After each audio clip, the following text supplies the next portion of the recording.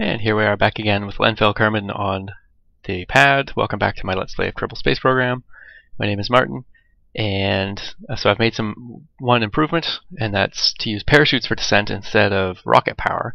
Obviously, there's some fuel savings there, and we're using the atmosphere's drag to instead of the engines to slow us down and hopefully land us.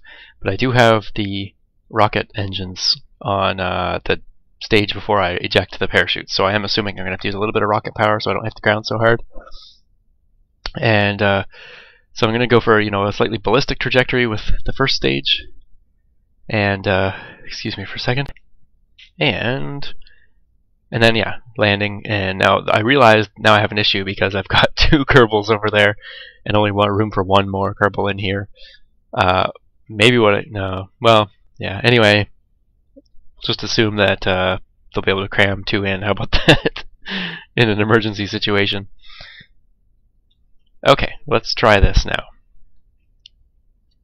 Oh yeah, just a little bit of this thrust. In three, two,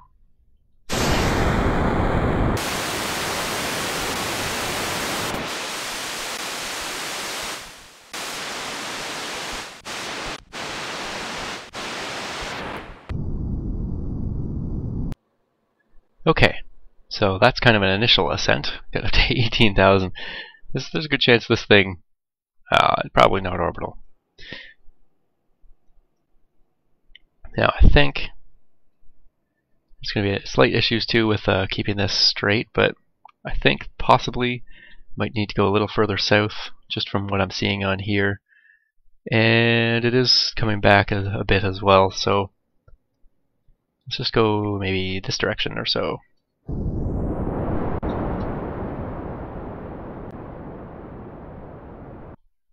Okay, that's good for that's good for the direction now. Which way am I thinking? Uh, this way? Yeah, something like that.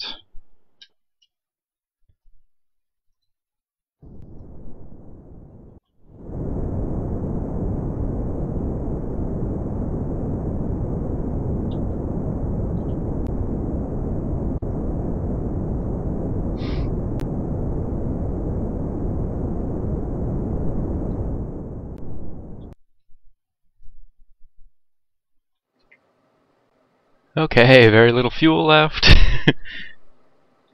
Actually, I think I kind of want to go, if anything, this way a little bit. Whoa, we've lost control. Shoot. Just wait till it swings back.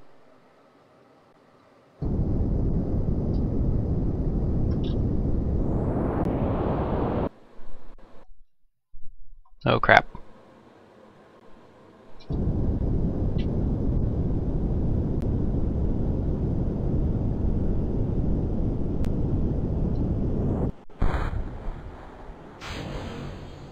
Oh, I don't think we're going to make it. Not without burning a little bit of this fuel, which I don't really have set up staging for.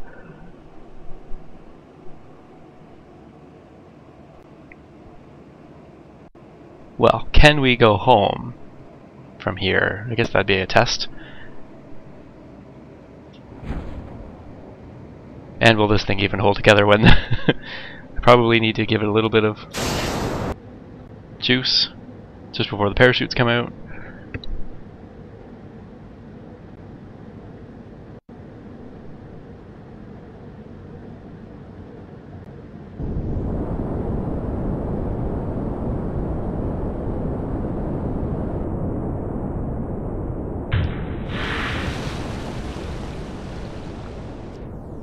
Um, the bottom fell off. Got a little choppy there, unfortunately, but uh, yeah, the bottom of the spacecraft fell off because I have no struts in between them. I don't know what is going on with the choppiness here. Oh, my computer sucks. That could be part of it. Well, let's see here. Cut. It's a decoupler. Ah, decouple. and let's see, decouple.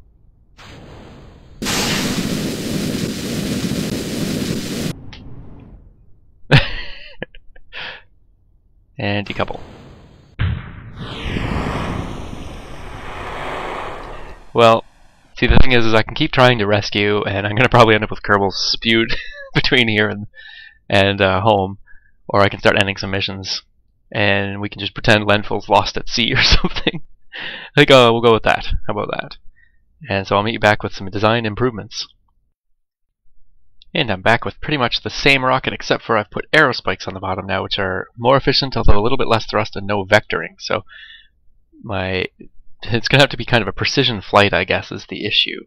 Uh, I want to get up fairly high and and you know by the time these yeah I can't really control the ship once it starts kind of coming back in the atmosphere I guess so I want to go under power. I could put some wings on this I guess but yeah I think I kind of like the design as is, so I'm going to try this here now. We've left a Kerbal, uh, can't see his name, Genfrey. There it is, yeah. Here, these are more efficient, so I should have a little bit longer burn time. That really wasn't the issue last time. I probably could have should, should have kept the same engine on, but anyway, let's try it again in three, two. Oh. Yeah, that'll be okay.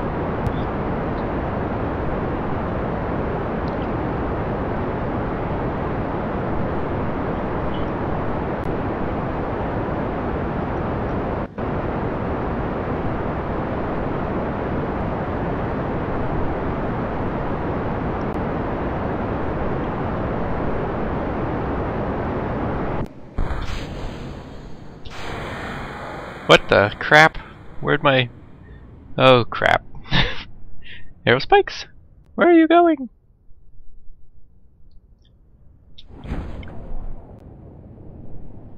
I don't know. I, I didn't get the staging right on this.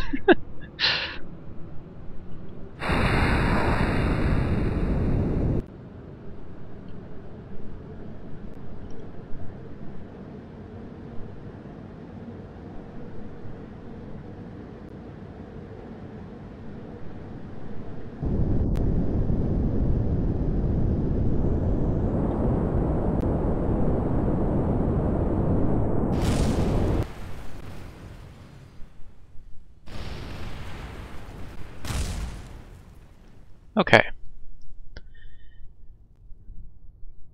So that worked. A little bit better this time. Now let's test if we can hit the ground at whatever 10.2 meters per second. See, this is just a test flight. Yeah, that's it. I wasn't uh, actually trying to do the rescue. oh yeah, this thing is sturdy. Now we can put the lights on. Help with nighttime landings. Probably use up a lot of resources too. Yep. Oh well, they're pretty cool. Uh, let's see. No, they don't fly off like they used to and explode.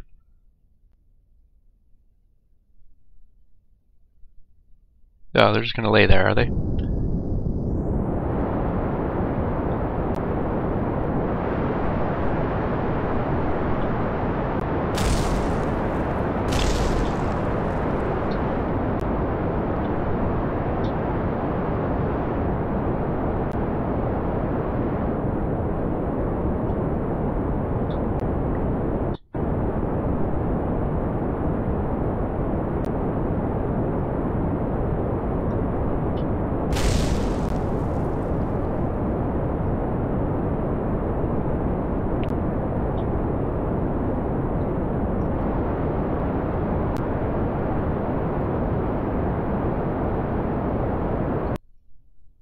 Okay.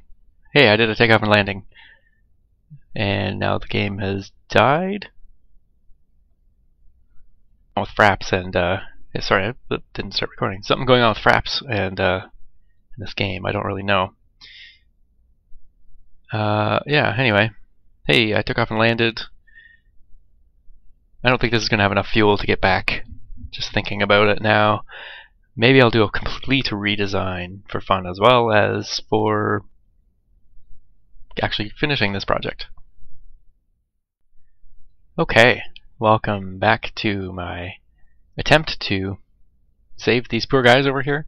Uh, now we're going to combine the rocket world and the jet engine world, and we'll go with pure jet engines as a, uh, a source of power. And again, uh, I've actually kind of messed up here. Maybe I should fix it. I can make it a little bit better. It doesn't really matter. I think we can do it fine on here. This is a fuel tank here with, well, fuel and oxidizer, and a good amount of it too. So 360 liquid fuel, whereas each of these only has 150. But I think we can get all the way to the island and back with just these two. There's four tanks, the four small kind of uh, just liquid fuel tanks. Anyway, uh, let's give that a try. I've also do not trust myself with landing yet, especially with the jet engines. Even harder because it doesn't have an instant response like the rocket uh, motors do. So I'm gonna do. Oh, but I didn't put struts on here. Uh, okay, I'll fix that. Okay, this is it. I think we have struts on here.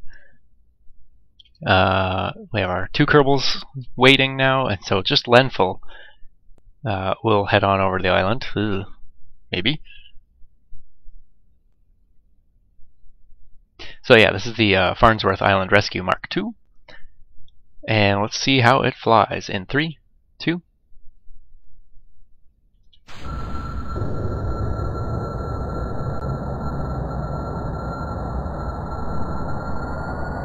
Okay, here we go. That's this is one of the reasons why uh, why I'm doing it uh, with the parachutes because I don't think I can control uh, throttle that finally. You see the delay there? That was pretty crazy. But we don't need a lot of power, and we sure aren't going to use a lot of fuel. Uh, oh, intake air is one of the resources. Neat. So yeah, liquid fuel, tons, tons and tons and tons of liquid fuel.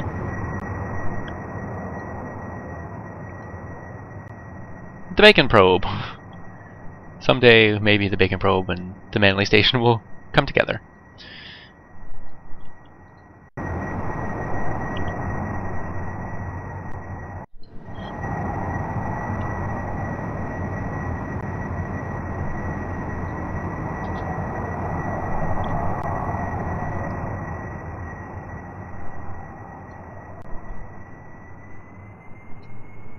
So we have a yeah. So I kind of wait till this lines up with. Uh, that's my idea. Wait till it lines up with the island.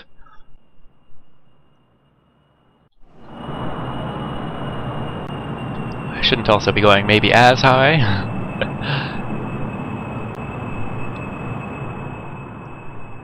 Maybe I'll get some horizontal distance out.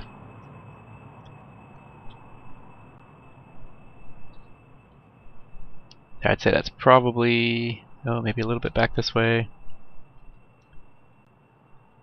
Probably pretty good aim. Maybe just a little bit more.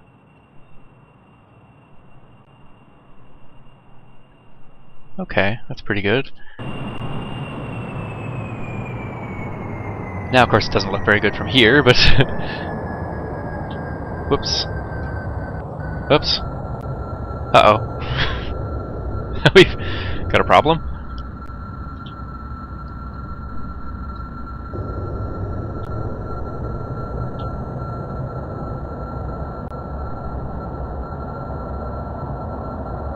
Got it, I've got it.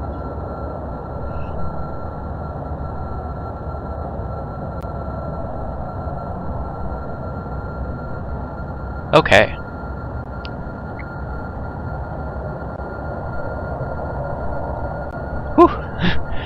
Aero aerodynamic forces got away from me there. Maybe I should have put some control surfaces on this. But hey, look how nice and easy we got here with ridiculous amounts of fuel left. That's all because, well, the game's balance is maybe a little bit part of it. And the fact that we don't have to carry uh, oxidizers with us.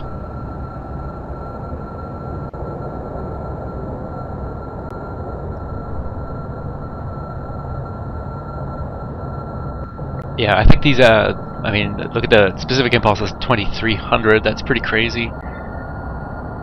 I don't know. Something's something's not quite right. I don't think it should be. I don't even have any wings. you know, I shouldn't be. It shouldn't be this easy.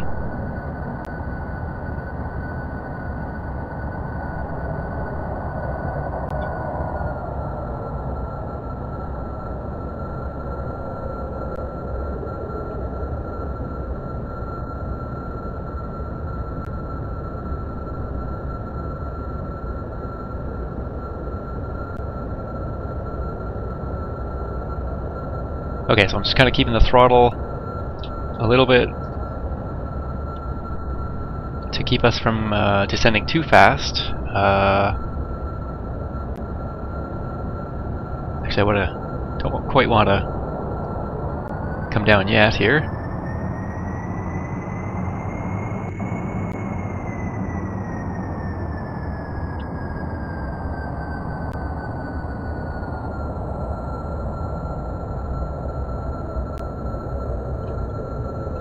Okay.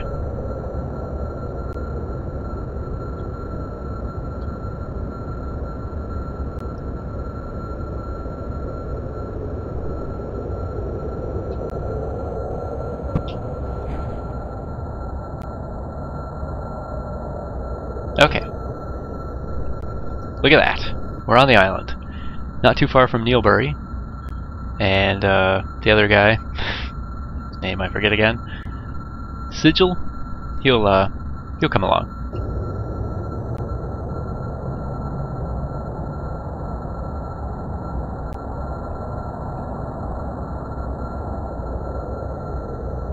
Danger of landing with these. I should have shut them off a little bit earlier. But we are landed.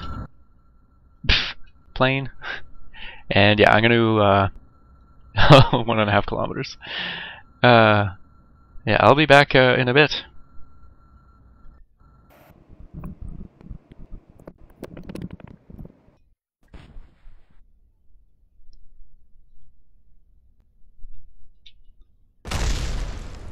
Oh crap. Well, so okay, I was coming back over here to think like, oh, maybe if I could get a Kerbal out and redo these parachutes, I could fly over to him. and I switched back over on time accelerated, and it it seems to multiply gravity. Uh, it does some sort of weird. Uh, yeah, I'm not exactly sure how to describe what it does, but it's it's not a true time multiplier, I guess. Anyway, um, because gravity seems to be increased by four times when uh, on on the structure anyway, so it seems to have blown off an engine, which is disappointing because I did I thought a pretty good job. I don't think I can fly like this. I think it's too unbalanced. I could always just cut this engine off. Oh, maybe we're not done yet. But what else has gone wrong here? Oh, this engine's off. Which engines are on? Just this one?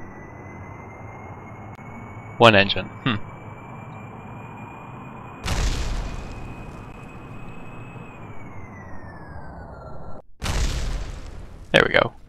Successfully got rid of all the engines. Test the abort system.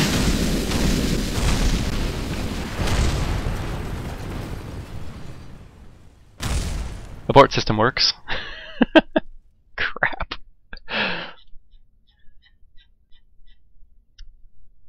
Well, is it time to... Uh, no, I mean, this worked well. There's no, no, no time to give up necessarily, but I know I could have done it.